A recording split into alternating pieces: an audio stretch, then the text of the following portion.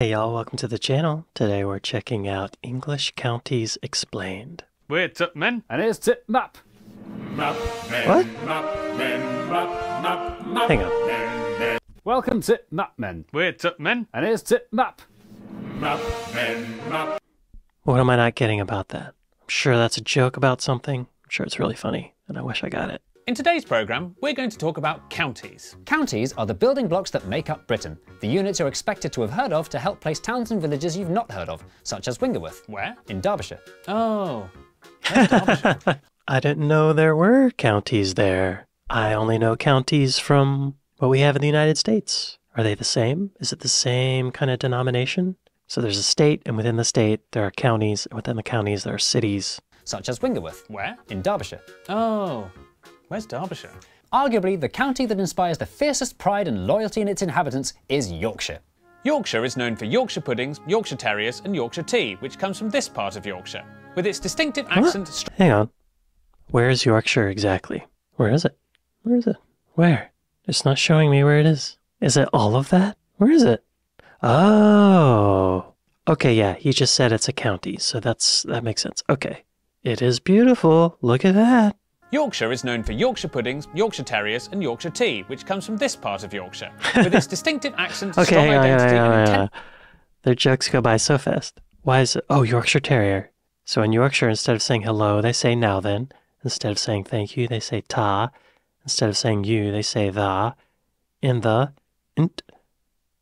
To the shops. To shops. Anything. Out. Nothing. Nout. Good grief. E by gum. e by gum girl, lass, table, table, coffee, tea, until, while, one, two, three, yantan tether. And I see the symbol of Yorkshire is a white flower. Is that a rose? As in War of the Roses, maybe? Maybe not. I don't know. I'm making it up. With its distinctive accent, strong identity, and intense one way rivalry with Lancashire next door, Yorkshire folk are proud to tell everyone they come across that they come from Yorkshire. And they're all wrong to do so because Yorkshire doesn't exist. Yes, it does. Alright, show me a map with Yorkshire on it. Okay. Here, this map of the 39 counties of England clearly shows a county called Yorkshire. That's exactly what I just found while trying to look it up on Google Maps. I couldn't find it. Here, this map of the 39 counties of England clearly shows a county called Yorkshire. But this map of the 48 counties of England shows separate north, south, west, and east riding of Yorkshire, but no Oh. single county called Yorkshire. But my map is correct and up to date. So is mine. And so is this one. What's going on? We're doing mapmen. No, I mean with the counties. Well, the definition of county What's going on? We're doing Map Men. What's going on? we're doing mapmen. No, I mean with the counties. Well, the definition of county in Britain is a minefield of anomalies, asterisks, confusions, vague areas, and contradictory Wikipedia articles. The more you look for hmm. answers about what a county really is, the more questions you come across. Which is perhaps why no one's attempted to do a video about them before. Even Google Docs won't let you type the word county without suggesting, did you mean country? But we're not taking citation needed for an answer. It's time to do some actual research to find out once and for all what is a county. And go!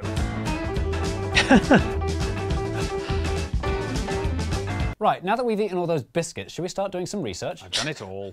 The first time England was split into what we now call counties was back in the 10th century when King Aethelstan wanted to make sure all the same laws were being obeyed and all the same taxes were being collected all across England. Which, curiously, is the opposite reason why you divide a nation up nowadays. He split his kingdom into bite sized, manageable chunks and sent an earl to be in charge of each one of them.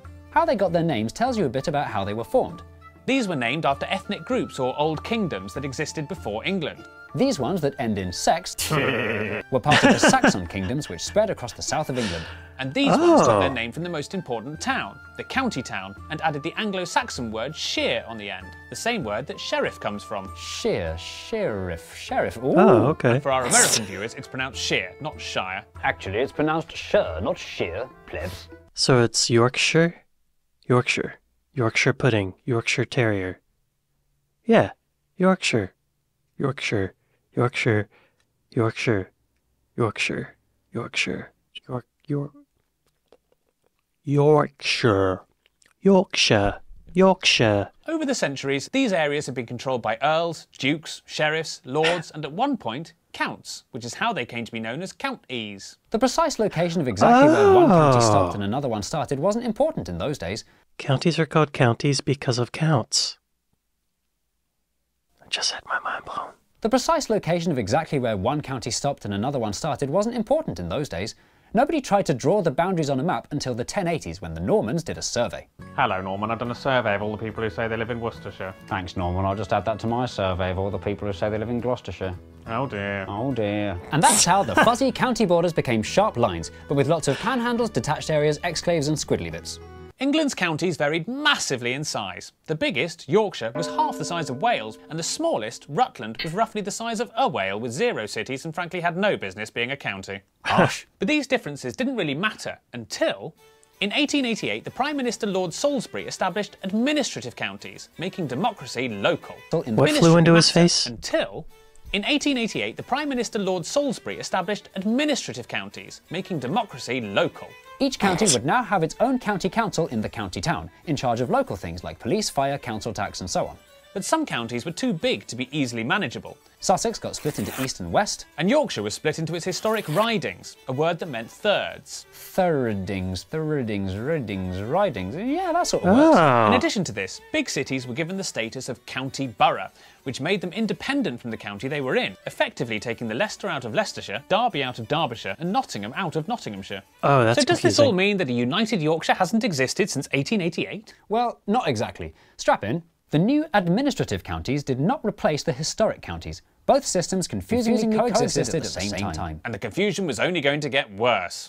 Lots of towns in Britain had the same name, This often caused confusion, with many ah. people's letters being delivered to the wrong place. Which is why from 18 something onwards, the Royal Mail required that every address had to end with a county. But Because many post towns happened to spread inconveniently across county borders, the Royal Mail, for their own convenience, introduced the last thing Britain needed another county's map. The post office's counties didn't match up with the historic ones or the administrative ones. For example, the town of Ugley was in the county of Essex, but the address ended in Hertfordshire. Which meant there were now three interpretations of what county you lived in historical, administrative, and or postal. Oh gosh. As the centuries rolled on, the county system went from being confusing to being completely out of date. After the Industrial Revolution, Britain's new big cities were man-spreading themselves across county borders. And many county towns were no longer the commercial powerhouses they used to be. The once mighty city of York had fallen to fifth place in non-existent Yorkshire. The counties hmm. didn't reflect 20th century Britain in any cultural, practical, or meaningful sense. It was time for a complete shake-up. The year was 1972, a time of optimism and experimentation in the first episode of Rainbow. The local Okay, it looks like we have some bananas with meat wrapped around them, probably ham, and a kind of cheese sauce with grapes and a salad on the side. Looks good. What is rainbow? Sounds kind of like uh, Sesame Street to me. Puppets and kids and adults teaching lessons. The adult version.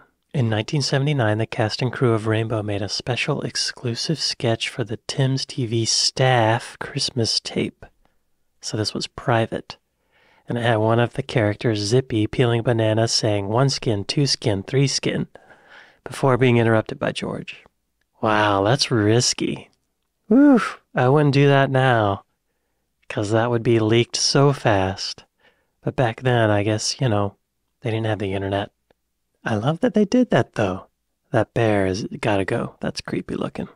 No, no. The Local Government Act of 1972 was a radical attempt at cleaning up the complicated, outdated counties mess both once and for all. Brand new metropolitan counties sprang into existence, with modern sounding names like Merseyside, Greater Manchester, West Midlands, and Tyne and Wear. London, of course, wasn't included in any of this as they'd already done their own thing 10 years earlier, which Jay has previously discussed on a video he made without me. At the same time, several traditional counties vanished overnight. It was county carnage. Huntingdonshire got eaten by Cambridgeshire, Hereford got anded with Worcester, Cumberland, Westmorland, and this lump of Lancashire were all merged and given the horrible new name Cumbria. And silly little Rutland was sensibly absorbed by Leicestershire. Chances are nobody would have Battenberged an eyelid at yet another change to Britain's local authorities, but the government made a big mistake. They messed with Yorkshire. Yorkshire's borders got a complete meddling, creating a new South Yorkshire, which was Oh. cheeky. But when the East Riding got taken out of Yorkshire altogether and became part of the new Humberside, that was not on. It was off. The previous previously Yorkshirean residents of Hull were not at all keen to be lumped with Grimsby on the other side of the River Humber. It was a particularly bizarre union given the Humber Bridge connecting the two sides hadn't even been built yet. There was an anti Humberside campaign, and even anti Humberside graffiti. All this kerfuffle forced the government's hand, and in 1996, Humberside quietly disappeared. As did other unpopular experiments like It Cleveland worked. and Avon. Hereford and Worcester once again became Hereford and Worcester. Sure, even ridiculous Rutland regained its status as England's smallest county. The shake-up of 1972, designed to simplify things, did nothing of the sort, instead marking the beginning of an hmm. era where county borders, names and powers have been changing on an ever-increasing basis. England today has nine regions comprising 47 ceremonial counties alongside six metropolitan counties comprising 36 metropolitan districts, 26 non-metropolitan counties comprising 192 non-metropolitan districts and 56 unitary authorities, not including Greater London, which is a ceremonial county and not a county, comprising 32 boroughs and the City of London, which is a district and a county and not a ceremonial county, and we haven't even talked about Scotland, Wales or Northern Ireland where it's different. Absolute state of this. Wow. The reality is, unless you live in a county that's particularly unusually proud of itself, like Yorkshire, in general not much of a monkeys is given about the county you live in. And that might be because it just doesn't really matter. It's not like the USA, where laws vary from one state to the next. Even Royal Mail doesn't care anymore. Thanks to postcodes, putting Oh. a ah. county on your address has been unnecessary since 1996, Postal despite code. the boxes they make you fill in on Amazon. But just because they're not important doesn't mean we should forget about them. Present day knowledge and understanding of English counties is in an abysmal state. We stopped over four people on the street, and not a single one of them could faultlessly name every single county in England and its county town. well, we think that's a terrible shame, and it's about time something was done about it. Oh, there's Leicestershire, Oxfordshire, Rutland, and Leicestershire, Oxfordshire, Rutland and Warwickshire, Northamptonshire is next door.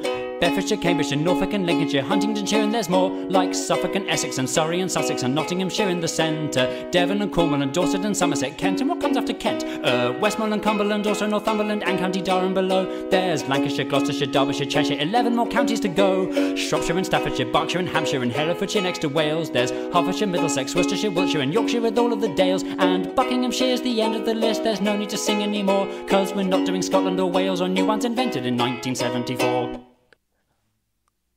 Jay Foreman, y'all. Jay Foreman, everyone. Jay Foreman. And Mark, what's his name? But Jay was doing the song. Jay, wonderful talent. Mark, too. I love these Map Men videos. They're always so good. They take a weird, boring issue and make it funny. So I guess overall, counties in the UK don't really matter anymore. It does seem really overly confusing. I guess for a while there they needed the counties for the post office, but but now they have postal codes. It's much better. Counties. Counties are called counties because they were ruled by counts, y'all.